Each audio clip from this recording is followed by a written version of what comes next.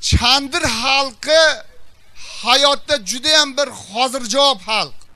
Mana masalan bir otaxon chandirlardan bir otaxon shaharda aylanib yursa yoniga bir yosh yigitcha kelib ota debdi. Ha o'g'lim degan ekan sizga o'g'il bo'lmoqchiman debdi. Ye menga o'g'il bo'lishliging uchun nima qilishim kerak? desa qizingizni berishingiz kerak debdi. Ye menga o'g'il bo'lishliging uchun qizimni olishing shart emas. Inangni menga bersang ham o'g'lim bo'laverasan. Ey tortishib qolibdi.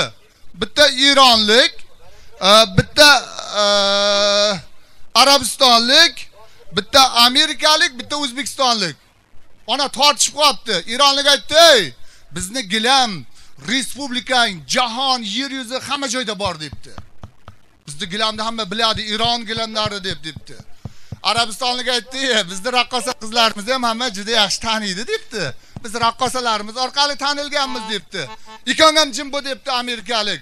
Bizni dollarimiz jahonda yagona debdi. O'zbekistonlik aytdi o'chirika uchalang debdi. Jim bo'lay debdi. Chandirlardan ekanda jim bo'lay debdi. Ey debdi. Agar o'zbekistonlik xohlasa debdi. Chandirlar xohlasa debdi. Seni gilamingni to'shab qo'yib seni raqqosangni o'ynatib seni dollaringni ustidan sochib yuboradi debdilar.